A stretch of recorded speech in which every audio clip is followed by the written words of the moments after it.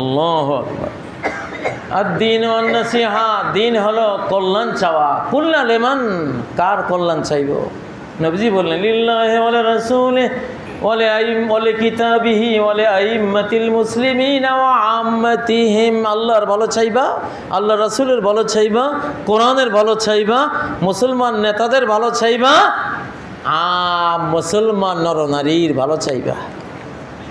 বিধর্মীর ভালো চাওয়া, সেটা অন্য, সেটা আমরা দাওয়াতি কাজ করব, অন্য বিষয়। কিন্তু তোমার কল্যাণ চাওয়া উচিত, তোমার মুসলিম ভাই বোনেরা নরনারীরা যারা আছে, ঠিক নয় কি? ফজরের ফরজ সালাতের জামাত শুরু হয়ে গেছে, এরপরও কিছু মুসল্লি তথা কতিপয় মসজিদের মানুষেরা সুন্নত সালাতের নিয়ত করছে। এটা কিছু কিতাবে মশলাটা এভাবে লেখা আছে বিধায় আমাদের দেশে আমলটা পাওয়া যায়। তা আমরা খুব আবেদন নিবেদন করে আমাদের ওই ভাইদেরকে আমরা বলি যে, কিতাবে লিখলেই এটা আমরা আমল করা ঠিক না। যতক্ষণ ওই লেখার পক্ষে কোনো আয়াত অথবা কোনো হাদিস আমরা না দেখব। তো যেহেতু সহি বুখারিতে নবীজির একটা হাদিস আছে, ইজা উকিমতি সলা যখন ফরজের একামত হয়ে যাবে ফলা সলাতা ইল্লাল মাকতুবা, তখন ফরজ ছাড়া আর কোনো সলাতেই হবে না। এক সাহাবি নবী সাল্লা সাল্লাম ফজরের জামাত শুরু করলেন, উনি সুন্নত শুরু করলেন। সালাম ফিরানোর দেরি, সাহাবিরা সব ঘেরাও করছে। এই, কি করলাম কি করলাম নবীজিও ধরলেন, আজ সোফা আর বাড়ান ফজরের কি ফরজ চার রেখাত তুমি তো যেই গুরুত্ব দিয়ে সুন্নত পড়েছ, ফরজের সিমিলার ফরজের সাথে সমান করে করে, এটা তো আকিদাগত গোমরাহির মধ্যে পড়ে গেছে। তুমি যেটা সবচেয়ে গুরুত্বপূর্ণ আর যেটা তোমার সন্না নফল গোত্রীয়, সেটাকে তুমি ফরজে সমান করা, এটা জ্ঞানগত একটা বিভ্রান্তি তোমার। এটা করো না। সুন্নত হয় আগে পড়বা, আর না হয় ইমাম সালাম ফিরালে পড়ে নেবা, ওইটাও আদির সম্মত না হয় সূর্য উঠলে পরে পড়ে নেবা। ঠিক নয় কি? এখন এখানে আজকের আয়োজন যারা করেছে, এত কষ্ট করে আপনাদেরকে দাওয়াত দিয়ে এনেছে এই সময় এখানে বক্তা যখন মাইকে বক্তৃতা শুরু করেছে, এই টাইমে যদি আরেকজন ছোট্ট একটা মাইক লইয়া সাইডে বক্তৃতা আরম্ভ করে, কেমন লাগবে? বক্তৃতা থুইয়া আগে ওই বেদার দমন করতে হবে নাকি?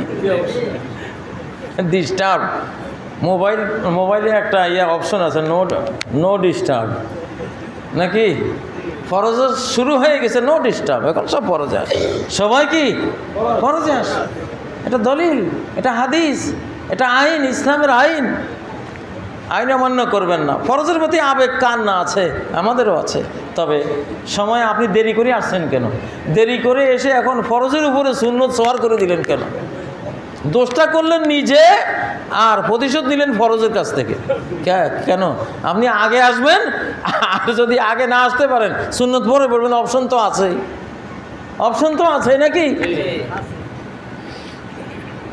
কীভাবে আল্লাহর অলি হওয়া যায়? কে প্রশ্ন করেছেন? আপনি নিজে তো আল্লাহর অলি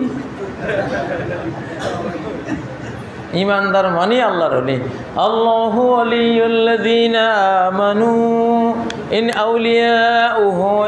মুত্তাকুনাল্লাযীনা আমানু। আল্লাহু আকবার। কেউ দাড়ি কাটা অলি কেউ দাড়িওয়ালা অলি কেউ জালিম অলি কেউ মুক্তাসেদ মিডিয়াম মিডিয়াম ক্লাসের অলি কেউ সাবেকুন বিল খায়রাত ফার্স্ট ক্লাস অলি। কিন্তু মুমিন সবাই কি? অলি। আল্লাহর অলি। রিক্সাওয়ালারও আল্লাহর অলি যদি নামাজ পড়ে।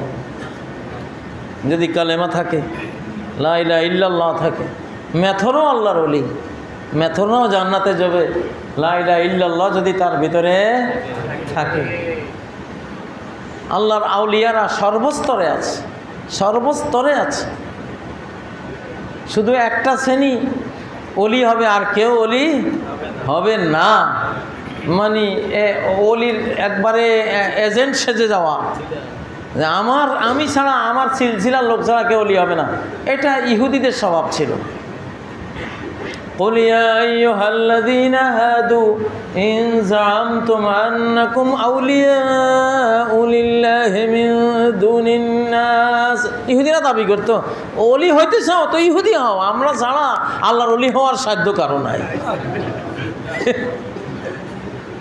ধোকাবাদ মিথ্যাবাদী আল্লাহ বলছেন তো এত যদি অলি হও তাহলে অলিরা তো আল্লাহর কাছে যাওয়ার জন্য পাগল হয়ে থাকে তো তোমরা আল্লাহর কাছে যাওয়ার জন্য মৃত্যু কামনা করো তো জিন্দিগি তো কামনা করবে না।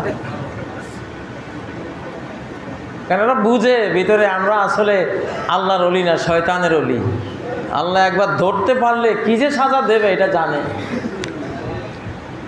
যাই হোক, আল্লাহর অলি হওয়ার জন্য কোরআন পড়বেন বেশি বেশি, আল্লাহর ফরজগুলো পালন করবেন, হারামগুলো ছাড়বেন, সুন্নত নাফলগুলো যথাসাধ্য পালন করবেন মাত্র জিনিস, আল্লাহ যেটা পছন্দ করে না, এইসব জিনিস থেকে দূরে থাকার চেষ্টা করবেন। আপনি অবশ্যই আল্লাহর একজন প্রিয় বান্দারূপে আপনার উন্নতি হতেই থাকবে।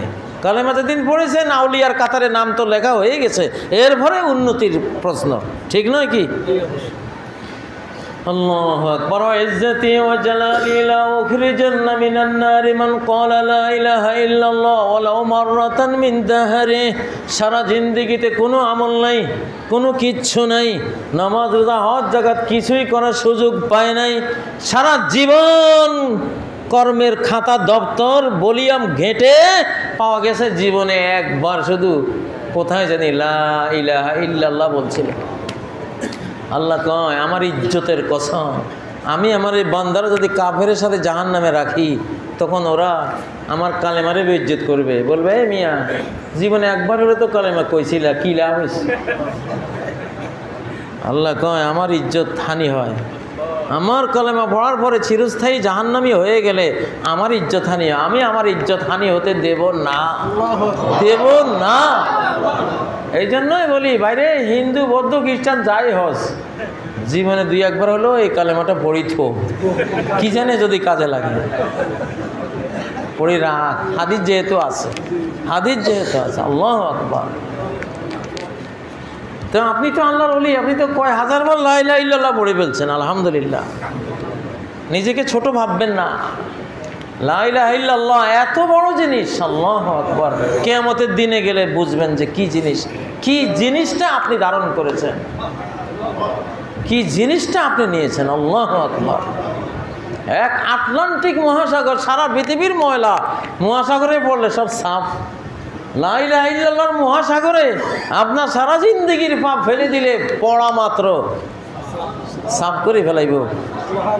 আল ইসলাম মা কানা কাবলা ইসলাম আগের সমস্ত পাপ, রাশি সব কি করে দেয়? ধ্বংস করে দেয়। মান কানা আগের ও কালামি লাইলা ইল্লাল্লাহ দাখাল আল জান্নাহ। জীবনের শেষ কথা যার লা ইলাহা ইল্লাল্লাহ, সে জান্নাতে চলেই যাবে, কোনো বাধা নাই।